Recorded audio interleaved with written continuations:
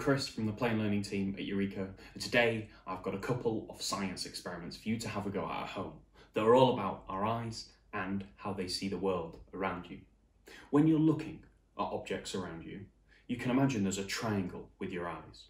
You've got the base of the triangle between your eyes, and then you've got two lines coming out of your eyes towards the object you're looking at.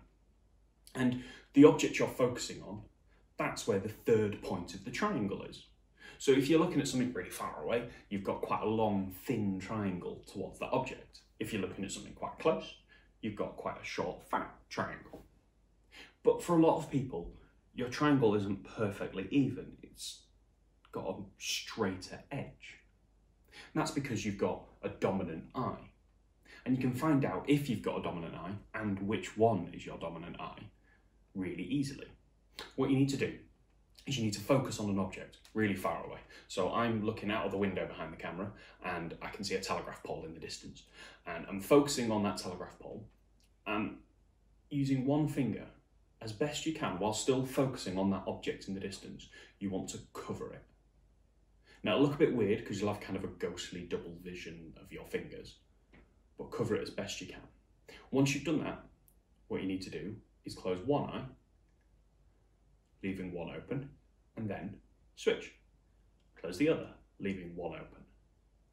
And when you do that, your finger will jump. You'll only see one finger, but it won't be in the same position as before, exactly.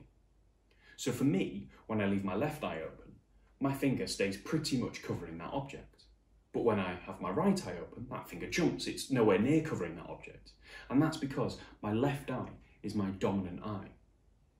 My left eye is the one that leads slightly. So see if you can work out what's your dominant eye if you've got one. But when you're doing that, you can see a kind of weird double vision of your fingers. In fact, you can play around with that.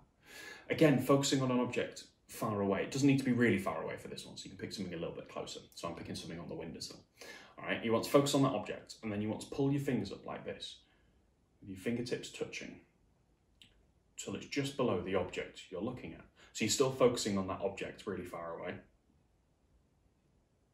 And you should see something strange. You kind of, well, you're seeing sausage fingers. You've got a weird extra bit of finger connecting the two in the middle. And if you pull your fingertips apart slightly,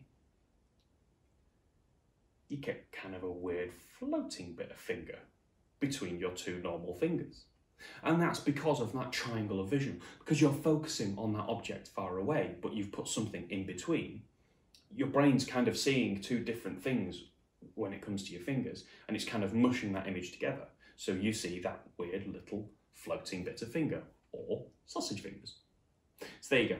There's two little eye experiments for you to have a go at at home. So see if you can work out which is your dominant eye, and see if you can see some sausage fingers. There you go. Have fun.